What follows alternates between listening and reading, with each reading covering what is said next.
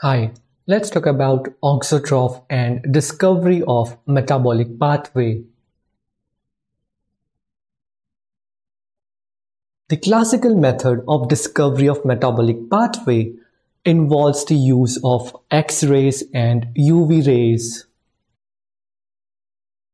When a culture having wild-type cells is exposed to X-rays or UV rays, the cells gets mutated. The process of UV mutagenesis is a random process, hence any gene can be mutated. Now, before moving further, let's understand the concept of minimal media and auxotroph.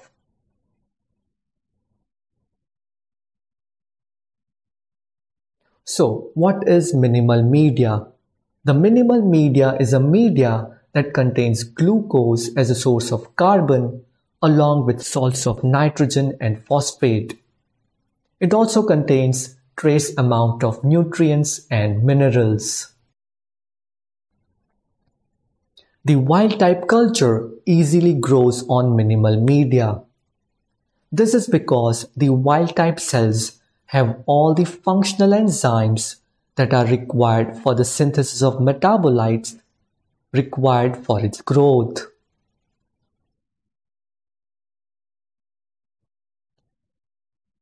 Now, because of UV radiation, if a gene coding for an enzyme involved in a metabolic pathway gets mutated, then the metabolite is not synthesized.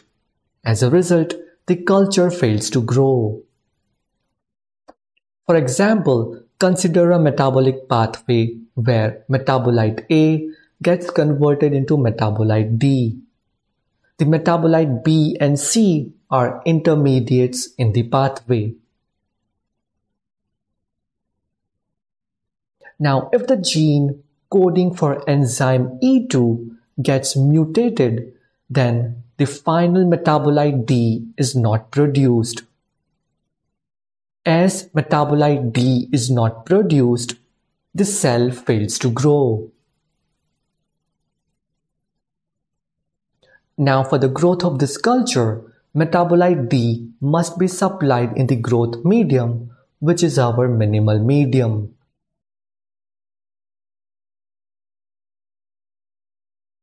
Hence we say the culture is auxotroph for metabolite D. Hence auxotroph means a culture that requires supplementation of particular metabolite in its growth medium for its growth. Remember, your growth medium means a minimal medium and the culture is auxotroph for metabolite D.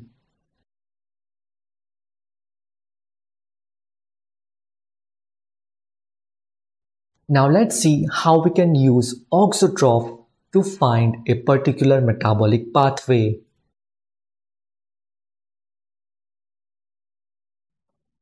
Let's say you have collected several mutants which are auxotroph for metabolite D. Let's call them auxotroph 1, auxotroph 2 and auxotroph 3. Let's say auxotroph 1 has mutation in enzyme E1. Auxotroph 2 has mutation in enzyme E2 and auxotroph 3 has mutation in enzyme E3.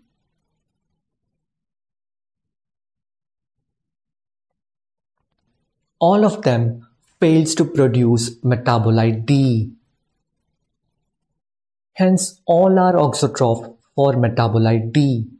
In other words, metabolite D must be supplied in the growth medium for the growth of all these auxotroph.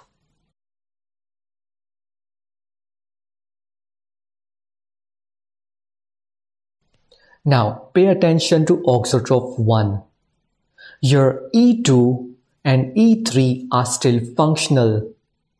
If this auxotroph gets the metabolite B, then it can easily make metabolite D. In case of auxotroph 2, the enzyme E3 is still functional. So if this auxotroph gets metabolite C, then D can be produced and it will easily grow.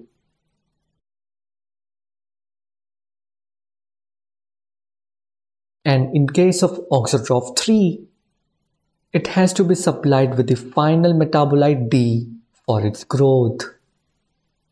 Now let's go back to auxotroph 1. In case of auxotroph 1, since enzyme E1 is mutated, the enzyme E1 is not functional. As a result, metabolite A will be accumulated in the cell. In case of auxotroph 2, the enzyme E2 is not functional. As a result, metabolite B will be accumulated in the cell. And in case of auxotroph 3, the metabolite C will be accumulated in the cell. All these metabolites that are accumulated are thrown out or secreted from the cell. So, the auxotroph 1 will throw out metabolite A. The auxotroph 2 will secrete out metabolite B. And the auxotroph 3 will secrete out metabolite C.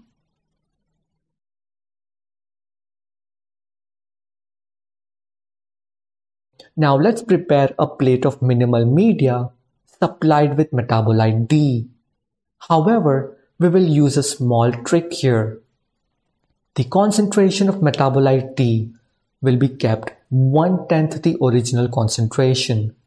So the auxotrophs will grow, but their growth will be minimum. Now let's treat auxotroph 1, auxotroph 2 and auxotroph 3 side by side. Since concentration of metabolite B added to the media is less, the growth of auxotroph will also be less. However, something interesting happens where the auxotrophs are near to one another. The auxotroph 2 is producing excess amount of metabolite B. This metabolite B can be utilized by auxotroph 1 for its growth. As a result, the streak of auxotroph 1, which is close to auxotroph 2, will show excess growth.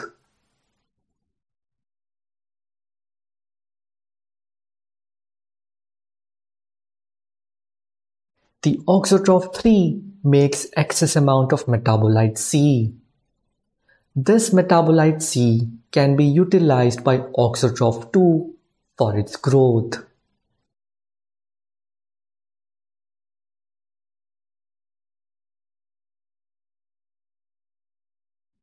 Now, the figure that you see on the left hand side was taken as an example. In reality, this information is unknown it's by looking at the growth pattern of auxotroph on the Petri plate, the scientists figure out the sequence of intermediates in the metabolic pathway. So let's try to understand this. Pay attention to auxotroph 1. Auxotroph 1 is dependent on auxotroph 2 for its growth. This shows that the enzyme mutated in auxotroph 1 is behind the enzyme mutated in auxotroph 2. So the enzyme mutated in auxotroph 1 is behind the enzyme mutated in auxotroph 2.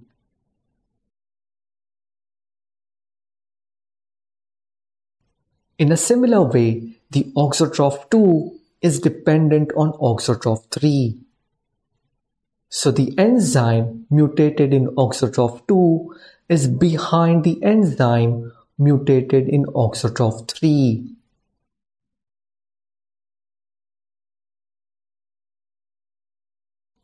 Now each of these auxotroph are accumulating and secreting the certain metabolite in its external environment. Pay attention to auxotroph 1. It is overproducing metabolite A. The auxotroph 2 is overproducing metabolite B and the auxotroph 3 is overproducing metabolite C. Now each of these auxotrophs can be grown in flask. Once they are grown, they will accumulate certain metabolites based on the mutation. All these accumulated metabolites, which are thrown out from the cells, can be purified by chromatography and analyzed by techniques such as mass spectroscopy.